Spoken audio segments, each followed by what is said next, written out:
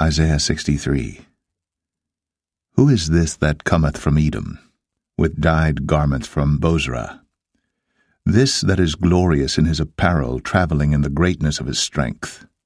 I that speak in righteousness, mighty to save. Wherefore art thou red in thine apparel, and thy garments like him that treadeth in the wine vat? I have trodden the winepress alone, and of the people there was none with me for I will tread them in mine anger, and trample them in my fury, and their blood shall be sprinkled upon my garments, and I will stain all my raiment. For the day of vengeance is in mine heart, and the year of my redeemed is come. And I looked, and there was none to help, and I wondered that there was none to uphold. Therefore mine own arm brought salvation unto me, and my fury, it upheld me. And I will tread down the people in mine anger, and make them drunk in my fury, and I will bring down their strength to the earth. I will mention the loving kindnesses of the Lord, and the praises of the Lord, according to all that the Lord hath bestowed on us, and the great goodness toward the house of Israel, which he hath bestowed on them according to his mercies, and according to the multitude of his loving kindnesses.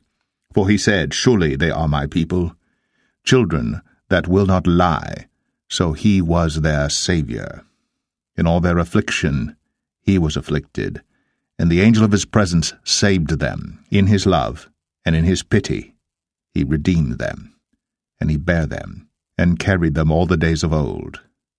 But they rebelled, and vexed his Holy Spirit.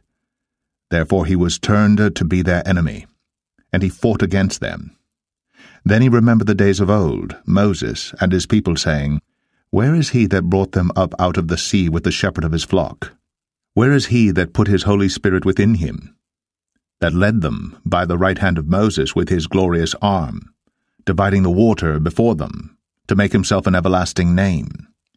That led them through the deep as an horse in the wilderness, that they should not stumble, as a beast goeth down into the valley?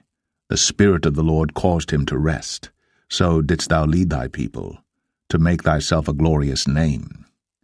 Look down from heaven, and behold from the habitation of thy holiness and of thy glory. Where is thy zeal and thy strength, the sounding of thy bowels, and of thy mercies toward me? Are they restrained?